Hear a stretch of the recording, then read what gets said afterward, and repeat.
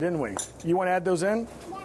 Beck's doing good. He is doing good. So watch, guys. Watch how much salt I'm going to put in there. Salt brings out the flavor. Taste the difference now that I add the salt. That tastes much better. It tastes much better, doesn't it? Yeah.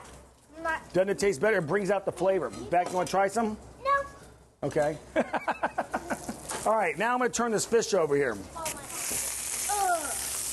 Okay, and then what we're going to do now, watch guys, this is very important. We're going to hit this with nice thyme in there, and we're to crush some garlic, throw that in there. We're to take the spoon and we're just going to nappe, just cover this with this, okay? See that? Then we're to put that back on the fire just for a little bit. We're going to take this now, the nice garnish that we made here. Circle of food. We put this on here. The circle of life. The circle of life. See the, the colors? circle of food. We got different colors going on here. See that? I'm gonna bring the fish over here. Oh, most Now it's out. It's really hot. That's it. Pop those. I'm gonna place that right on top. Look, guys. Marcel, look. Now for the most important thing, as far as I'm concerned, or one of the most important, is the sauce. Okay? I'd say the fish is the most. Yeah, it's important too, but the sauce is, is, is like you just go around like this. Look at that. Oh, Look that at that. And then we take a nice sprig of basil on here, a nice little small sprig of basil. I'm ready to eat. Okay? And we just garnish that right there with that. And look at that, guys.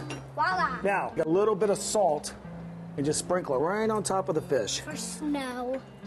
Okay? Snow. What do you guys think? I like it. Huh?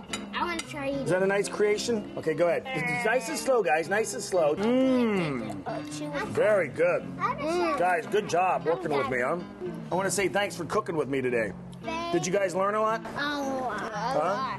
Did you? I just take one bite. It's important to teach your kids at home how to cook and enjoy it. Young kids, it's hard to keep their attention about it, but you know what? They'll never forget this. Those boys right now, if you ask one of them one day, what's that? Oh, that's a snapper. Oh, that's a salmon. Or they'll ask, is, is that farm raised? They'll ask those questions out because they've been exposed, they've been touched. And the more they get touched with that, the more they're going to be interested in it, the more they're going to spread the word of let's get great food. Let's have fun cooking it and eating well. Mm, that's really good. Is that good? I knew you guys would like the snapper. Snappers real good. Really good, guys. What do you think, Beck?